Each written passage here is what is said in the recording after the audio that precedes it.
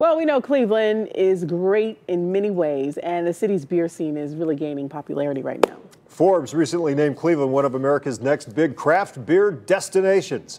Our DeLon Dillard reports Clevelanders agree. Craft beer is a spirit that keeps giving, and its reputation here in Cleveland is giving the city some recognition. It's always been a brewery town. They've had a lot of historic breweries here. And now Forbes is taking note, calling Cleveland one of America's next big craft beer destinations. Adam Rittersbach works for Great Lakes Brewing Company. We are very proud of how much Cleveland has changed.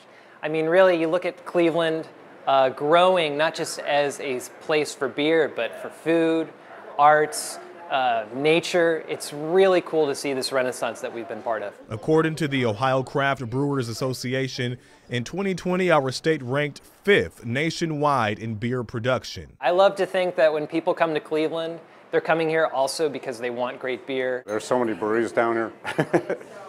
There's a, there's a lot of places to go. You can't miss the number of options popping up around town. I found about 20 listed on the Brewing Association's website, and it's something that's creating a friendly competition and revenue. Even in the height of the pandemic, Ohio's 393 craft breweries still generated $880 million. That's according to the OCBA. I think craft brewing continues to grow. It's continuing to attract new drinkers and with that, we're continuing to innovate. We're not just brewing those classic old styles that we were back in the 30s. We're finding new ways to experiment. DeLon Dillard, News 5.